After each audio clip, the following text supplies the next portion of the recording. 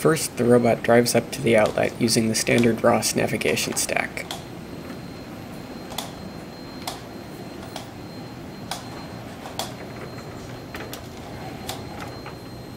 The robot moves the plug to the approximate location of the outlet and performs a fast horizontal scan to correct navigation errors and roughly align with the outlet.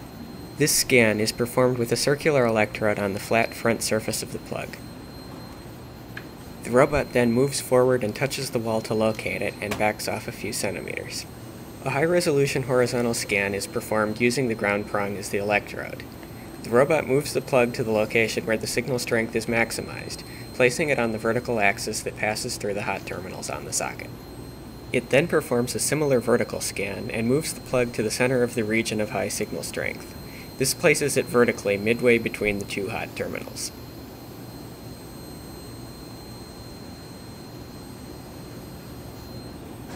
Fixed vertical and horizontal offsets are applied to move the prongs into alignment with the holes in the socket, and the robot then moves the plug forward to plug in.